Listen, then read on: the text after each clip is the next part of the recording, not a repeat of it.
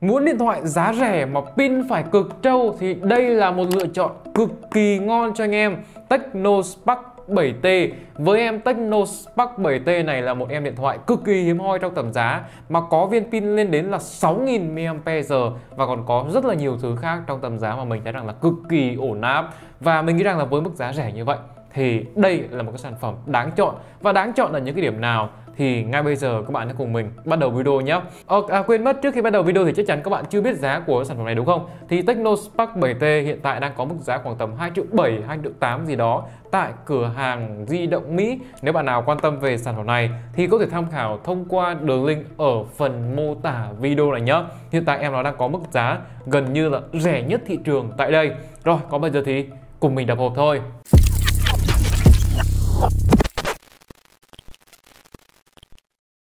Ok, hãng điện thoại Tecno là một trong những hãng điện thoại mà mình phải nói thật các bạn luôn là làm cực kỳ tốt ở cái phân khúc giá rẻ. Luôn có cấu hình option các kiểu rất ngon trong tầm này. Và đây là hộp của Techno Spark 7T cái hộp của nó thì mình thấy rằng là làm theo cái kiểu rất là trẻ luôn đấy các bạn.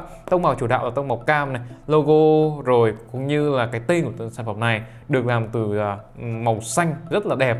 Và các bạn sẽ có dòng chữ 7T ở đây chính là mô đồ sản phẩm. Ngoài ra thì các bạn sẽ có một số thông tin khác. Ví dụ như là camera tận là 48 chấm 6000 mAh 6,5 inch và còn có khá là nhiều thông tin hay ho khác ở đây rồi, bây giờ thì mình sẽ mở hộp ra để xem là bên trong sẽ có gì nhá Và đây là chiếc điện thoại Tecno Spark 7T của chúng ta Mình sẽ lấy nó và để ra một bên và ngoài ra, khi mà các bạn mua cái điện thoại này thì bên dưới các bạn sẽ được tặng khá khá là đủ phụ kiện. Đầu tiên là một cuốn sách hướng dẫn sử dụng này. Thứ hai là một cái phiếu bảo hành 12 tháng cộng 1 là 13 tháng. Nhưng mà cái này thì mình thấy rằng chưa ngon lắm Vì đại đa số những cái thương hiệu ở Việt Nam đều bảo hành 18 tháng rồi. Đó, đây là một cái ốp lưng silicone. Đây là một trong những thứ mà rất cần thiết Trong những tầm này mà có ốp lưng là ngon rồi. Lại một cuốn sách hướng dẫn sử dụng khác. Các bạn sẽ còn có ở đây Đó là một cái sợi cáp sạc USB Type-C bình thường. Và các bạn sẽ còn có ở đây là một cái sợi cáp sạc micro USB nói chung thì tầm này dùng micro USB thì cũng ở cái mức là có thể chấp nhận được. Và các bạn sẽ còn có ở đây là một chiếc tai nghe này.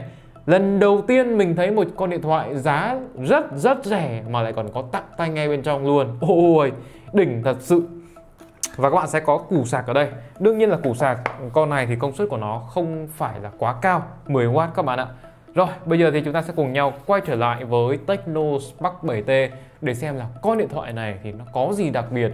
Và một trong những cái điểm đặc biệt đầu tiên khi mà mình được cầm và mình được review nó đó chính là thiết kế của con này nó đẹp thật sự các bạn ạ. À, về phần hoàn thiện ấy thì em này vẫn được làm từ chất liệu là nhựa thôi. Và mình thấy rằng là cái chất liệu nhựa trên cái sản phẩm điện thoại của Tecno ấy nó khá là ổn đấy các bạn ạ. Cho mình cảm giác cầm đầm tay. Và khi bạn gõ vào này đó, và cái mặt lưng này nó không hề cảm giác ộp ẹp nó nói chung là rất chắc chắn và mình nghĩ rằng độ bền của cái phần mặt lưng này nó sẽ cao. Và với mặt lưng của con này thì sẽ có hai bản màu, một màu đen, hai màu xanh. Thì mình recommend các bạn là mua màu xanh, nó sẽ rất là đẹp. Các bạn sẽ có dòng chữ Park 7T à, ở đây, Techno này. Và cụm camera con này sẽ là camera kép. Và camera kép của nó sẽ có độ phân giải là 48 chấm. Con này sẽ không có camera góc rộng đâu nha các bạn còn có cụm bốn cái đèn đèn flash ở đây. Mình không hiểu là techno muốn làm đèn pin để soi cá hay sao mà tận là bốn cái đèn flash rất là khủng khiếp luôn. Trong khi những dòng điện thoại bây giờ thì cùng lắm chỉ một đèn thôi các bạn ạ. Hoặc là căng thì hai đèn. Các bạn sẽ có cái vân tay một chạm ở phần mặt sau nói chung là về thiết kế mặt sau thì em này mình thấy rằng là đẹp. Và đặc biệt là con này là, là mặt lưng nhám ít bám lại mồ hôi giờ vân tay nên là dùng sướng cực luôn. Nói chung là đây là một cái điểm cộng rất lớn. Ok về cảm giác cầm nắm thì với em Techno Spark 7T thì nó cho mình một cảm giác cầm nắm khá thoải mái.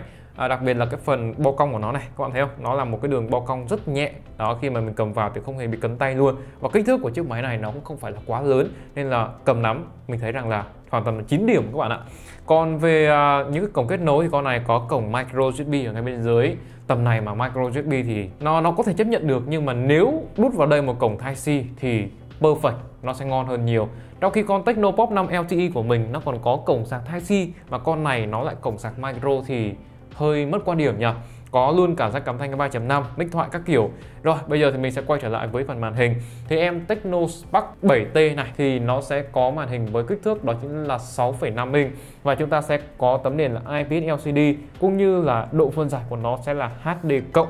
Với cái màn hình này thì uh, à, mình thấy rằng là cái màu sắc của nó khá là ổn. Tuy nhiên thì độ sáng của cái màn hình này thì nó không phải là quá cao. Hiện tại thì mình đã bật ở cái mức là tối đa độ sáng rồi nó ở vừa, ở cái mức là vừa đủ nhìn. Nói chung là tầm này thì màn hình của nó cũng chỉ ở cái mức này thôi các bạn ạ. Các bạn sẽ có camera selfie giọt nước ở cái phần mặt trước và camera selfie của nó sẽ có độ phân giải là 8 chấm. Và một cái điểm nữa mình cần chia sẻ là viền màn hình của nó sẽ khá là dày, tại vì tầm này thì lấy đâu ra viền màn hình mỏng. Về phần mềm ấy thì em Techno Spark 7T này nó dùng một cái hệ điều hành của nhà Tecno Tuy nhiên thì cái hệ điều hành này nó không có quá nhiều thứ để chúng ta vọc đâu các bạn ạ. Đó nói chung là giao diện thì nó giống như iPhone nhưng mà có một cái hay ấy là nó lai tạp rất là nhiều thứ ở đây. Ví dụ như là bình thường giao diện của Xiaomi vuốt qua vuốt lại hoặc là giao diện của Poco thì kéo từ dưới lên đúng không? Con này có cả hai luôn. Thế là nghĩa là bạn nào mà thích dùng cái à, giao diện của Poco thì kéo từ dưới lên thích giao diện của Xiaomi có thể vuốt qua vuốt lại. Ấy nói chung là cái giao diện của cái sản phẩm này thì nó khả năng tùy biến của nó khá hay. À, và đương nhiên là chúng ta có thể xóa được những cái icon này ở màn hình chính, có thể tùy chỉnh, tùy theo cá nhân từng người. Và con máy này thì hiện tại nó đang chạy cho mình cái hệ điều hành hình như là HiOS và con máy này hiện tại thì nó đang chạy cho mình cái hệ điều hành là HiOS v7.6.0 và nó sẽ dùng cái phiên bản Android 11 nói chung là với cái hệ điều hành này thì nó khá đơn giản, dễ dùng nó gần như là hệ điều hành thuần Google, chẳng qua là chỉ tùy biến lại một số icon và cái lên chơi chính ở ngoài thôi. Rồi, bây giờ thì mình sẽ đến với cái phần hiệu năng. Thì với con Tecno Spark 7T này, thì nó sẽ được trang bị một hiệu năng với một con chip mà mình nghĩ rằng là khá ổn trong tầm này. Nó không phải quá mạnh, nhưng mà thực sự là cũng không phải là quá yếu. Với con này thì nó sẽ dùng con chip Helio G35 với 12 nanomet à, cũng như là chúng ta sẽ có bộ nhớ RAM là 4GB và bộ nhớ trong của nó sẽ là 64GB mình thấy rằng là với con máy này con chip Helio G35 thì trong tầm giá nhé thì mình thấy rằng là ở mức là đủ dùng à, RAM 4GB, bộ nhớ trong 64GB cũng là một cái option cấu hình mình thấy rằng là đủ dùng trong tầm giá. Với chiếc máy này thì chúng ta dùng những ứng dụng hàng ngày thì ok. Ví dụ như là lướt Facebook để xem gái, Instagram hoặc là lướt TikTok để xem những cái video hay ho trên này thì mình thấy chiếc máy này nó cũng ở cái mức là đáp ứng được ổn định còn nếu như các bạn muốn sử dụng nó một cách mượt mà hơn, muốn dùng nó với những tác vụ có yêu cầu đồ họa cao hơn, thì em máy này nó sẽ không thể nào mà thực hiện được đâu. Tại vì con chip Helio G35 thì nó cũng có giới hạn của nó các bạn ạ. Và các bạn hỏi mình là con máy này chơi game có ngon hay không, thì mình nói thẳng và thật các bạn luôn là con này không nên mua để chơi game. Vì trải nghiệm game trên con máy thì nó không thực sự tốt cho lắm. Đương nhiên là những tình trạng giật lắc vật thì với con máy tầm dưới 3 triệu chắc chắn nó phải có rồi rồi, bây giờ thì mình sẽ nói đến về cái chất lượng cụm camera đang có trên con Techno Spark 7T đi thì mình thấy rằng là chất lượng camera trên Techno Spark 7T thì nó ở cái mức là bình thường, có thể chụp được và khả năng chụp ảnh của nó cũng ở cái mức là trung bình thôi, chứ không phải quá vượt trội. Và con này không có camera góc rộng nên là một vài điều kiện mà chúng ta cần chụp ảnh góc rộng thì nó sẽ không ngon lắm. Đây, một vài tấm ảnh chụp ảnh từ camera sau, các bạn có thể thấy. Hay là camera trước của nó thì mình thấy rằng là chụp ảnh trong điều kiện đủ sáng thì cũng ổn, nhưng mà chi tiết của nó với camera 8 chấm thì chưa ngon lắm. Và đặc biệt là vùng tối của nó thì sẽ hơi bị noi, như các bạn đã thấy trên màn hình. Còn nếu chúng ta chụp ảnh trong điều kiện đủ sáng hơn thì nó vẫn bị noi ở trong cái vùng tối các bạn ạ. Còn cái vùng sáng thì mình thấy rằng là chi tiết chất lượng hình ảnh như thế này là ok rồi. Nói chung là camera của nó đủ đáp ứng cái nhu cầu người dùng phổ thông của chúng ta. Đến với một cái yếu tố nữa, đó chính là về phần pin. Thì con này pin 6000 mAh phải nói rằng là siêu trâu luôn các bạn ạ các bạn đang cần một chiếc máy có một thời lượng pin phải gọi là dùng khoảng tầm 2-3 ngày đi. Thì con Techno Spark 7T này, nó cực kỳ hợp lý vì viên pin trâu, gánh một con chip thì không phải là đứt quá nhiều điện, rồi gánh một cái màn hình cũng không ngăn quá nhiều điện và nó cũng chẳng có cái chức năng gì để nuốt nhiều điện cả. Thế nên là với con máy này thì có thể thoải mái dùng được khoảng tầm 2-3 ngày, thậm chí là 4 ngày với những người dùng có nhu cầu ở cái mức là thấp. Đó, nên là nếu bạn nào mà đang cần một chiếc máy, gọi là, để chạy Grab này để nghe gọi này hoặc là để làm shipper hoặc hoặc là đơn giản chỉ cần một chiếc máy pin trâu đáp ứng nhu cầu phổ thông thôi. Thì con máy này nó quá hợp lý rồi và thời gian dùng liên tục của nó có khi khoảng tầm hơn chục tiếng các bạn ạ.